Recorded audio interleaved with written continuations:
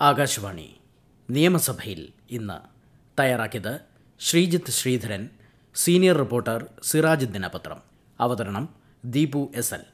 ചോദ്യോത്തരവും ശ്രദ്ധ ക്ഷണിക്കലും ഉപക്ഷേപവും തടസ്സമില്ലാതെ നടന്ന സഭാതലം ഇന്ന് പൊതുവെ ശാന്തമായിരുന്നു.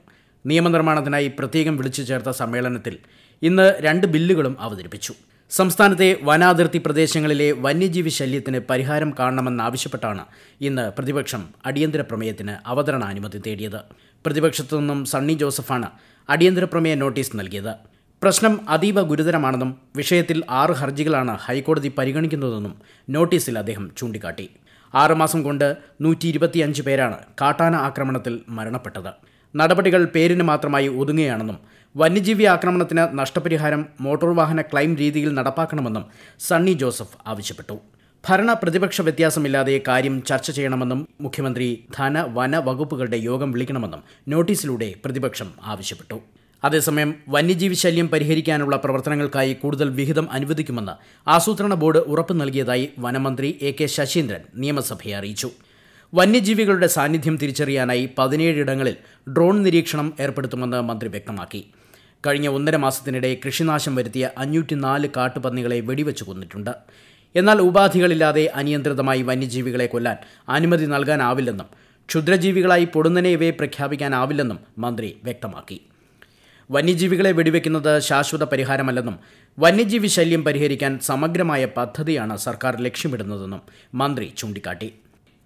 മന്ത്രിയുടെ മറുപടിയുടെ അടിസ്ഥാനത്തിൽ വിഷയം സഭ നിർത്തിവച്ച് ചർച്ച ചെയ്യേണ്ടതില്ലെന്ന് വ്യക്തമാക്കിയ സ്പീക്കർ അടിയന്തര പ്രമേയത്തിന് അവതരണാനുമതി നിഷേധിച്ചു.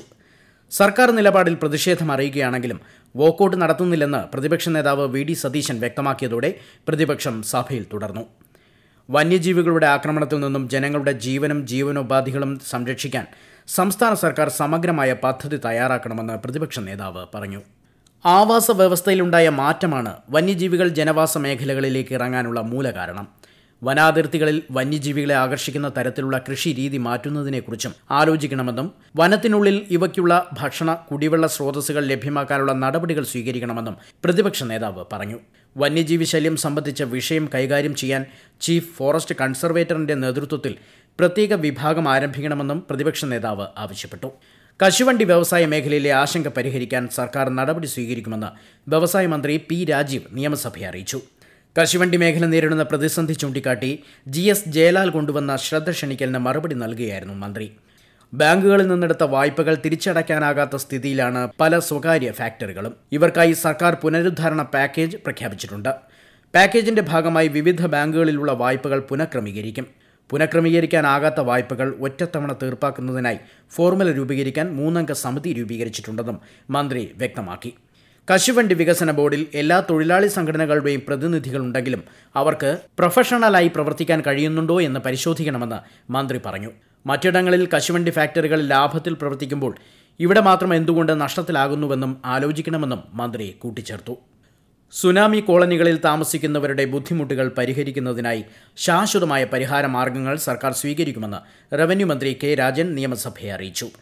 സംസ്ഥാനത്തെ സുനാമി കോളനികളുടെ ശോച്യാവസ്ഥയും കോളനി നിവാസികളുടെ ദുരിതവും പരിഹരിക്കണമെന്നാവശ്യപ്പെട്ട സി ആർ മഹേഷ് കൊണ്ടുവന്ന ശ്രദ്ധ ക്ഷണിക്കലിന് മറുപടി നൽകുകയായിരുന്നു റവന്യൂ മന്ത്രി. ഭൂമി തരം മാറ്റാനുള്ള അപേക്ഷകൾ ആറുമാസത്തിനകം തീർപ്പാക്കാൻ കളക്ടർമാർക്ക് നിർദ്ദേശം നൽകിയതായി മന്ത്രി കെ രാജൻ നിയമസഭയെ അറിയിച്ചു. ആകെ എഴുപത്തെണ്ണായിരത്തി അഞ്ഞൂറ്റി നാൽപ്പത്തി ഒന്ന് അപേക്ഷകളാണ് ഇതു സംബന്ധിച്ച് ലഭിച്ചത്. നടപടികൾ വേഗത്തിലാക്കാൻ റവന്യൂ ഡിവിഷൻ തലത്തിൽ ആറ് ജീവനക്കാരെ വീതം അധികം നിയോഗിക്കുമെന്നും വാഹനം കമ്പ്യൂട്ടർ പോലുള്ള സൗകര്യങ്ങൾ ഇതിനായി ലഭ്യമാക്കുമെന്നും മന്ത്രി അറിയിച്ചു. Thrippunithura M L A K ബാബുവിന്റെ സബ്മിഷന് മറുപടി നൽകുകയായിരുന്നു മന്ത്രി. നെന്മാറ മണ്ഡലത്തിൽ പട്ടിക വിഭാഗ വകുപ്പിന്റെ നേതൃത്വത്തിൽ കാർഷിക കോളേജ് ആരംഭിക്കുന്നതിന് നടപടി കൈക്കൊള്ളുമെന്ന് മന്ത്രി കെ രാധാകൃഷ്ണൻ സഭയെ അറിയിച്ചു. Nenmara M L A K ബാബുവിന്റെ സബ്മിഷന് മറുപടി നൽകുകയായിരുന്നു അദ്ദേഹം. പ്രൈമറി പ്രഥമാധ്യാപക നിയമനത്തിലെ സ്റ്റേ നീക്കാൻ അഡ്വക്കേറ്റ് ജനറലുമായി ചർച്ച ചെയ്ത് നടപടിയെടുക്കുമെന്ന് വിദ്യാഭ്യാസ മന്ത്രി വി ശിവൻകുട്ടി അറിയിച്ചു. സ്റ്റേ മാറുന്ന മുറയ്ക്ക് പ്രഥമാധ്യാപക നിയമനം നടത്തുമെന്നും സ്കൂളുകളിൽ ദിവസവേതനത്തിന് അധ്യാപകരെ നിയമിക്കുന്ന വിഷയത്തിൽ ധനവകുപ്പുമായി ആലോചിക്കുമെന്നും എ കെ എം അഷറഫിന്റെ സബ്മിഷന് മന്ത്രി മറുപടി നൽകി. തദ്ദേശ സ്ഥാപനങ്ങൾക്ക് അനുവദിച്ച പ്രളയ ദുരിതാശ്വാസ ഫണ്ടിൽ പതിനഞ്ച് മാസം കഴിഞ്ഞിട്ടും പൂർത്തിയാകാത്ത പദ്ധതികൾക്ക് രണ്ടായിരത്തി ഇരുപത് ഇരുപത്തിയൊന്നിലെ ബജറ്റിൽ നിന്ന് ബാക്കി തുക കണ്ടെത്തണമെന്ന് ടി ജെ വിനോദിന്റെ സബ്മിഷന് മന്ത്രി എം വി ഗോവിന്ദൻ മറുപടി നൽകി. കേരള ഓട്ടോമൊബൈൽസ് പുനഃസംഘടിപ്പിക്കുമെന്ന് കെ ആൻസലന്റെ സബ്മിഷന് മറുപടിയായി വ്യവസായ മന്ത്രി പി രാജീവ് നിയമസഭയെ അറിയിച്ചു. നവംബർ ഒന്നിന് സ്കൂളുകൾ തുറക്കുമ്പോൾ ഉച്ചഭക്ഷണം ലഭിക്കേണ്ട കുട്ടികൾ വിശന്ന് സ്കൂളിൽ ഇരിക്കരുതെന്ന് സർക്കാരിന് നിർബന്ധമുണ്ടെന്ന് പൊതുവിദ്യാഭ്യാസ വകുപ്പ് മന്ത്രി വി ശിവൻകുട്ടി നിയമസഭയിൽ പറഞ്ഞു. ഈ പശ്ചാത്തലത്തിൽ സ്കൂളിൽ ഉച്ചഭക്ഷണം ഉണ്ടാകണമെന്നാണ് വിദ്യാഭ്യാസ വകുപ്പിന്റെ നിലപാട്.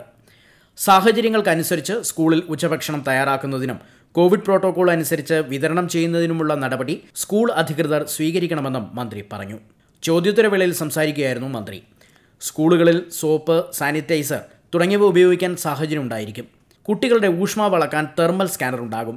ഓരോ സ്കൂളിലും ഓരോ ഡോക്ടർമാരുടെ സേവനം ലഭ്യമാക്കാനുള്ള സാഹചര്യം ഒരുക്കണമെന്ന നിർദ്ദേശം നൽകിയിട്ടുണ്ടെന്നും മന്ത്രി വ്യക്തമാക്കി. ഒരു ബെഞ്ചിൽ രണ്ട് കുട്ടികൾ എന്ന നിലയ്ക്കായിരിക്കും ക്രമീകരണം. അവധി ദിനം അല്ലാത്ത ശനിയാഴ്ച അടക്കമുള്ള ദിവസങ്ങൾ പ്രവൃത്തി ദിനമായിരിക്കുമെന്നും മന്ത്രി അറിയിച്ചു. പൊതുമരാമത്ത് വകുപ്പിന് കീഴിലെ റോഡുകളുടെ അറ്റകുറ്റപ്പണികൾ സമയബന്ധിതമായി നിർവഹിക്കാൻ റണ്ണിംഗ് കോൺട്രാക്ട് സംവിധാനം നടപ്പാക്കാൻ തീരുമാനിച്ചതായി പൊതുമരാമത്ത് മന്ത്രി പി എ മുഹമ്മദ് റിയാസ് നിയമസഭയിൽ പറഞ്ഞു. ഓരോ റോഡും മുൻകൂട്ടി തന്നെ ഒരു കരാറുകാരനെ ഏൽപ്പിക്കുന്ന സംവിധാനമാണിത്. അറ്റകുറ്റപ്പണികൾ ആവശ്യമെങ്കിൽ കൊട്ടേഷൻ അടക്കമുള്ള നടപടിക്രമങ്ങൾ ഇല്ലാതെ തന്നെ കരാറുകാരനെ ജോലി ഏൽപ്പിക്കാം. ഈ കരാറുകാരന്റെയും ബന്ധപ്പെട്ട എഞ്ചിനീയറുടെയും നമ്പർ പൊതുജനങ്ങൾക്ക് ലഭ്യമാകത്തക്ക രീതിയിൽ പ്രദർശിപ്പിക്കും. എം എൽ എമാർക്ക് ഇവരുടെ പ്രവൃത്തി പരിശോധിക്കാനാകുമെന്നും മന്ത്രി പറഞ്ഞു. എന്നാൽ പൊതുമരാമത്ത് വകുപ്പിൽ ഉദ്യോഗസ്ഥ കരാർ കൂട്ടുകെട്ട് ഇപ്പോഴും നിലനിൽക്കുന്നുണ്ടെന്നും മന്ത്രി പറഞ്ഞു. എന്നാൽ വകുപ്പിൽ സത്യസന്ധരായ ഉദ്യോഗസ്ഥരും കരാറുകാരുമുണ്ട്. അഴിമതി ആര് ചെയ്താലും മുഖം നോക്കാതെ നടപടി സ്വീകരിക്കുമെന്നും മന്ത്രി നിയമസഭയിൽ പറഞ്ഞു. പതിനഞ്ചാം നിയമസഭയിൽ നിയമനിർമ്മാണത്തിനായി വിളിച്ചു ചേർത്ത മൂന്നാം സമ്മേളനത്തിന്റെ നാലാം ദിവസം രണ്ട് ബില്ലുകളും സഭയിൽ അവതരിപ്പിച്ചു. രണ്ടായിരത്തി ഇരുപത്തിയൊന്നിലെ സർവകലാശാല നിയമങ്ങളുടെ ഭേദഗതി ബില്ലുകളാണ് സഭ ഇന്ന് പരിഗണിച്ചത്. കൂടുതൽ ചർച്ചകൾക്കായി ബില്ലുകൾ നിയമസഭ സബ്ജക്ട് കമ്മിറ്റിക്ക് വിട്ടു. നിങ്ങൾ കേട്ടത് നിയമസഭയിൽ ഇന്ന്. തയ്യാറാക്കിയത് ശ്രീജിത്ത് ശ്രീധരൻ സീനിയർ റിപ്പോർട്ടർ സിറാജ് ദിനപത്രം.